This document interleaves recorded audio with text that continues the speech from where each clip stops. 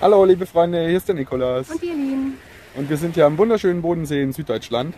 Und unsere gute Freundin Rita aus Kalifornien hat uns gebeten, euch ein Video zukommen zu lassen mit Gründen, warum wir Jesus lieben.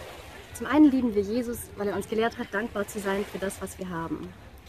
Die Auferstehung von Jesu war auch sehr wichtig, denn die Auferstehung Jesu legt den Grundstein unseres Glaubens, dem Christentum.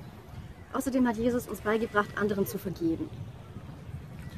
Für Jesus sind auch alle Menschen gleichwertig. Egal was diese Menschen getan haben, was für Charakterzüge diese Menschen haben. Für Jesus sind alle Menschen gleich viel wert. Ein weiterer Grund, warum wir Jesus lieben, Jesus hat nie die Hoffnung aufgegeben und uns beigebracht, auch niemals die Hoffnung aufzugeben. Egal wie schwierig eine Situation aussehen mag, mit unserem Glaube werden wir es schaffen, diese zu meistern. Schön formuliert, Elin.